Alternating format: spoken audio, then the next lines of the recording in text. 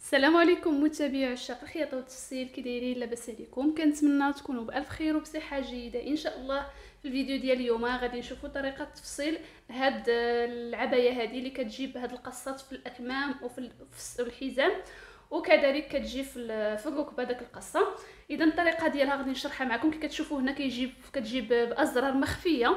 ممكن ديروها بأزرار عادية يعني بالطراقات أو بأزرار عادية باينة أو بالأزرار المخفيه كيبقى لكم الاختيار. بالنسبة للثوب شحال غادي نحتاجو؟ بالنسبة للبنات يعني الطاي مثلا 38 36 فغادي تحتاجوا 3 متر فقط. وبالنسبة للطاي كبيرة غادي تحتاجوا 3 متر ونصف. إذا مثلا عندنا هذا الثوب وبالنسبه للثوب هو الثوب ريحانة أو البرادة.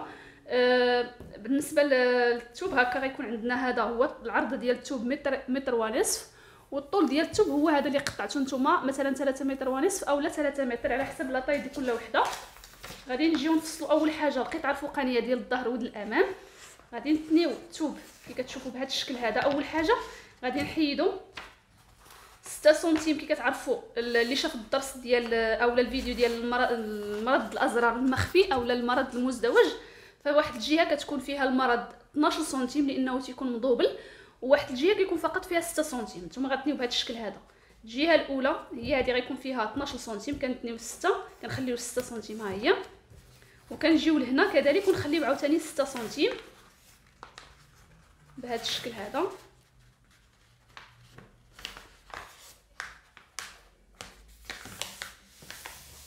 اذا هنا خلينا 6 وهنا خلينا 6 يعني هذه غتبقى لينا فيها غير 6 وهذه غتكون عندنا فيها 12 سنتيم. باش تفهموا البنات غنخليكم الفيديو ديال آه ديال الفيديو ديال المرض الأزرار المزدوج باش تفهموه مزيان لأن ضروري تشوفوه باش تعرفوا الطريقة ديالو درتو على الثوب طريقة الخياطة وطريقة كذلك ديال التفصيل اذا دابا هنا غادي نجيو نفصلوا الظهر كيكون مسدود والأمام القطعة وحدة كيكون فيها 6 سنتيم الأزرار والقطعة الثانية غيكون فيها الأزرار مزدوج فغادي تكون فيها 12 سنتيم.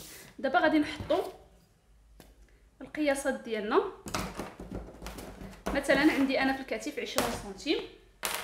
غادي نحط 20 سنتيم في الكتف هنايا. عندي مثلا 19 زائد سنتيم الخياطة هي 20 غنحط القياس اللي عندي. ندخل ب 8 سنتيم ديال العنق. وغادي ننزل من الكتف ب 3 سنتيم. هذه كتعرفوا قاعدة. غادي نحط الطول ديال التركيز اللي هو 20 سنتيم. وغادي نجي من هنايا. غادي نحط القياس ديال الصدر ونرسم هاد الزاوية قائمة.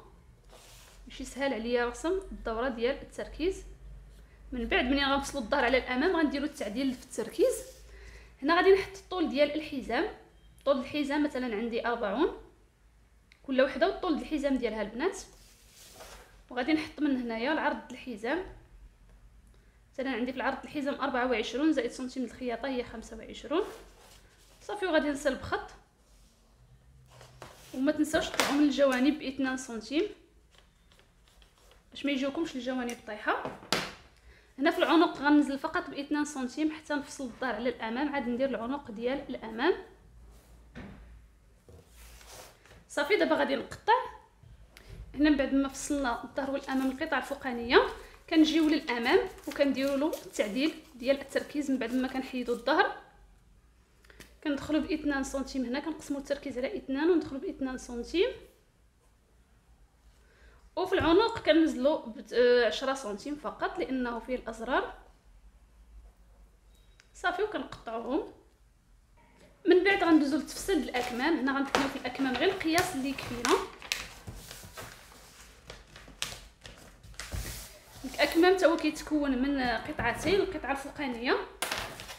غادي نحطو هنايا نفس القياس اللي نزلنا به في التركيز. وغادي ننزلو من هنايا. عفوا من هنا غادي نبداو القياس لأن من هنا الجهة مفتوحة. غادي ننزل من هنا ب 13 سنتيم هذه قاعدة. وغادي نرسم هذه المسافة.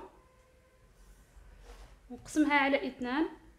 من بعد نقسمها على أربعة. الجهة العليا كنخرج بسنتيم والجهة السفلية كنزل بسنتيم. صافي وكنرسمو الدورة ديال التركيز ديالنا. هنا غادي نحطوا لكم فقط لهذا المرفق هذا الطول لكم لتمايا غادي نحطوه بهذا الشكل هذا.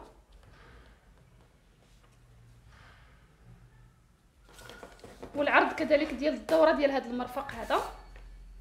زائد سنتيم ديال الخياطة. ونسيلو بخط بهذا الشكل. غادي نزيدو من هنا نديرو واحد سنتيم فقط وغادي نحطو نزيدو على هذا القياس هذا واحد عشرة أو لا خمسطاش سنتيم ديال لي بلي اللي غادي نديرو. كنكملو الطول ديال ديال الكم مع زيد مع الزيادة ديال سنتيمات الخياطة بطبيعة الحال. ونفس العرض اللي عندنا هنا هو اللي غادي نهبطو به الأسفل. لأن الكم كي كتشوفوا ايفازي من بعد هاد الجهة هذه غنديروا فيها البليات غتولي لنا قديكم ومن هناكم غيجينا واسع صافي دابا غادي نقطعو باش ندوزو نفصلو القطع السفلية. هنا من بعد الثوب اللي بقى لينا في الطول ديال الثوب مثلا كنتو خديتو إلا كنتو خديتو 3 متر ونصف فغادي تبقى لكم مترين ونصف لأن هنا درنا مثلا في الطول ديال هذا ديال القطعة الفوقانية 40 ونزيدو عليها الطول ديال الكم 58 اللي هي مثلا متر. غتبقى لكم مترين ونصف. إلا خديتو 3 متر ونصف. كنتو خديتو 3 متر فقط غتبقى لكم آه غتبقى لكم تقريبا آه، مترين. مترين فقط اللي غتبقى لكم. اذا كنجيبوها كنتنيوها بحال هكا بنفس الطريقة اللي تنينا المرض. كنحيدو 6 سنتيم الأولى ونديرو 6 سنتيم الثانية الامام لأن الأمام والظهر بجوج فيهم لي بلي. أه كتجي بحال هكا هاد القطعة فيها هاد الأمام واحد القطعة من الأمام فيها 12 سنتيم وهذه فيها 6 سنتيم وهذه القطعة ديال الخلف. صافي كنجيبو كنحطو بحال هكا القياس ديال الحزام. هذا هو القياس ديال الحزام. كنزيدو عليه تقريبا واحد عشرة سنتيم ديال لي بلي. عشرة سنتيم لأن غتزاد لينا عشرة سنتيم في كل جهة كافيه وغادي نقطعو. نحددو الطول ديال الفستان للركبه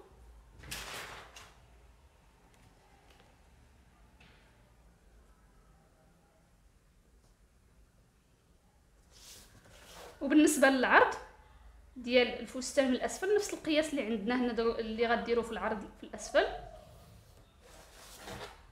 هنا غادي نقطعو.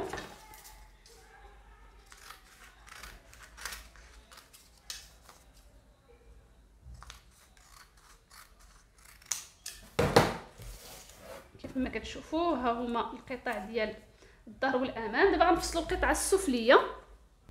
بالنسبة للقطعه السفلية البنات أنا هنا على الورق يعني إلا جاكم نتوما الثوب مثلا ما بقالكمش فين ديروا زيادة ديال لي بلي فانتوما تفصلوا كل قطعة بوحديتها ما تنيوش على أربعة تفصلوا ديال الأمام بوحديتهم ومن بعد تفصلوا ديال الخلف. دابا مثلا غنفصلوا ديال الأمام ها هو كنحطوه هما المرض ديال الازرار وهذا هو القياس. على هذا القياس ديال الركبه غنزيدو كذلك واحد عشرة سنتيم وكنكملوا الطول. وكنزلو بنفس القياس من هنا في العرض. هنا كنكونوا فصلنا القطعة ديال الامام هذه الجهه اليمين وهذه الجهه اليسار لأن البنات بعض المرات ما تيكفيناش الثوب باش نفصلو على ربعة. فغادي ديروا هاد الطريقة هذه 3 متر أو 3 متر ونصف راه كافية. غير خصكم تعرفوا كيفاش تعاملوا مع الثوب ديروا هاد الطريقة هذه الا ما كفاكمش كيفاش تفصلوا قطعه مثلا الا كنتو غديروا داك القطعة اللي جاية في القصة في الركبة ما بغيتوهاش كديروا قطعه القصة غير اللي في في الحزام فقط. دابا غادي نفصلوا كذلك الخلف. الخلف كنفصلوه نفس القياس ديال هاد القطعة هذه ولكن كنحيدو. كي كتشوفوا المرض الأزرار لأن الخلف ما غيكونش فيه المرض الأزرار. صافي حد هنايا. بهذا الشكل هذا.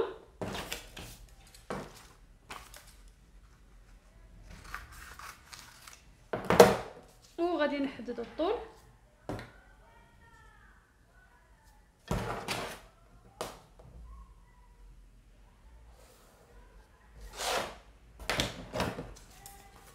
ودابا غندوز باش نشرح لكم الطريقة كيفاش غادي تجمعوا البياسة اولا كيفاش غادي تخيطوها. اذا هنا كيف ما كتشوفوا أول حاجة هادو القطع ديال الظهر هذه القطعة الفوقانية هذه القطعة اللي فيها قصه في الحزام وهذه القطعة اللي غتلصق لنا في القصة ديال الركبه اذا هذه القطعة اللي في الحزام غادي نديروا لها لي بلي. كديروا غير واحد نص سنتيم كيشتو البليات ماشي كثارين بزاف متفرقين. بحال هكا كديروهم. حتى كتحصلوا على نفس القياس ديال الحزام نتوما كتخدموا نتوما كتقيسوا يعني بليات جايين في الموديل ماشي كثارين بزاف جايين متفرقين. صافي من بعد ما كتحصلوا عليهم كتلصقوها مع القطعة يعني خياطة كديروا الوجه على الوجه وكتخيطوها مع الظهر.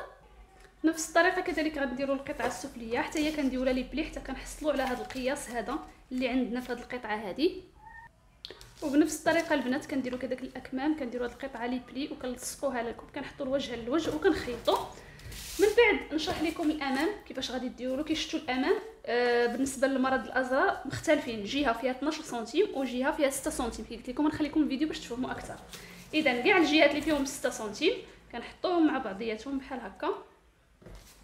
بهذا الشكل هذا. مثلا الجهة ديال لأن الجهة ديال اليمين هي اللي تكون فيها 12 سنتيم. مثلا هذه الجهة ديال اليسار. كنحطوها بحال هكا. هذه كنديروا لها لي بلي. غير هذا القياس هذا ما كنحسبوش هاد هاد سميتو هاد 6 سنتيم هذه كاملة ما تنحسبوهاش ما تندخلوهاش في لي بلي كتبقى خارجة. يعني غادي تستنى على اثنان باش غادي نديرو بها الأزرار. بحال هكا. كتبقى خارجة بوحديتها. هاد القياس فقط اللي تنديرو لي بلي هذه تنديرو لي بلي على هاد القياس هذا وهاد القطعة كنديرو لي بلي على هاد القياس هذا. نفس الطريقة غادي نديرو كذلك حتى للجهه الأخرى. هي. الجهة الأخرى فيها 12 سنتيم كنخليوها 12 سنتيم كاملة. ما كندخلوهاش في القياسات.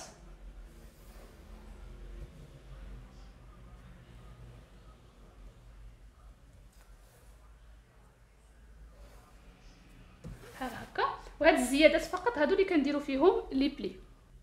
اذا بعد ما كتركبوا القطع كاملين هنا بالنسبة للفتحه الأزرار كيفاش غديروا ليها الجهة اللي فيها 12 سنتيم والجهة اللي فيها 6 سنتيم؟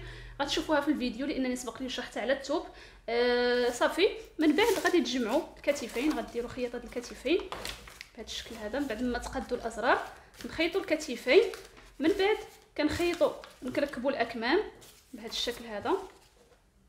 منين كنركبوا الأكمام؟ كنقلبوا البياسة بهذا الشكل. والأكمام كذلك.